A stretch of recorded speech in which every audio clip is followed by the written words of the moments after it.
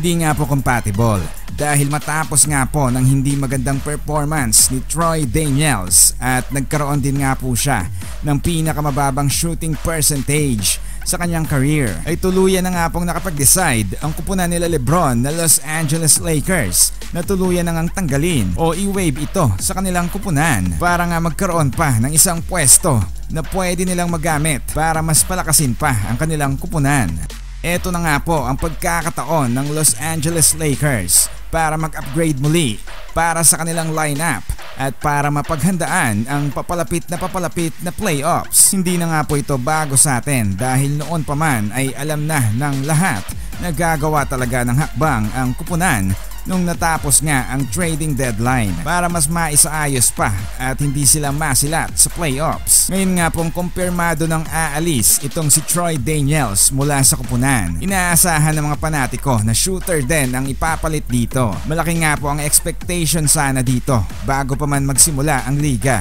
Pero kabaliktaran nga po ang nangyari at hindi nga ito ganon ka-effective sa kupunan. At ang napapabalitang papalit nga sa bakanting pwestong naiwan nitong si Daniels ay itong sina J.R. Smith at itong si Dion Waiters. Matatandang si J.R. Smith po ay nakasama na ni Lebron sa Cleveland Cavaliers at dito nakasungkit na nga po sila ng kampyonato. Pero meron pong malaking pagkakamali na nagawa si Smith at sa finals pa nga po ito mismo. At para kay Waiters naman ay huli nga po itong naglaro sa kupunan ng Miami Heat. At ang general manager ng Lakers na si Rob Pelinka. Alam nyo bang si Dion Waiters ay dati palang bata niya? O si Rob Pelinka ang dating agent ni Waiters nung nagsisimula pa lamang ito sa NBA. So meaning kilala na nila ang isa't isa at siguradong dagdag puntos nga ito para kay Waiters.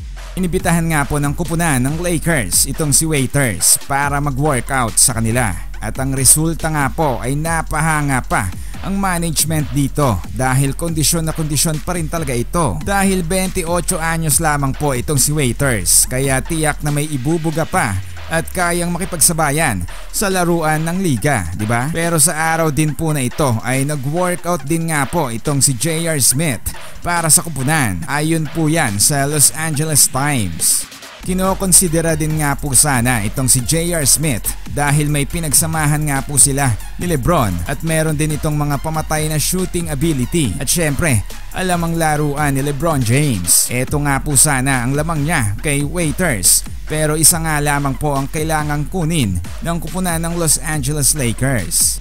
Kaya po ang nanaig at ang napagdesisyonan ng kupunan na kunin ay itong si Dion Waiters nga. Hindi nga po nang dahil sa napahanga lang sila, kundi maganda din naman talaga ang naging performance nito at bata pa rin po. Siguradong hindi naman magde-decide ang kupunan ng Lakers kung wala silang nakita dito na maaasahan nila. Lalo na kapag nagsimula na nga ang playoffs, di ba? Kung kayo ang tatanungin, tama nga kaya ang naging desisyon ng Los Angeles dito? Para sa inyong mga suggestion or komento, ilagay lang po natin lahat yan sa ibaba at babasahin po natin. Once again, like and share mo na rin kapatid.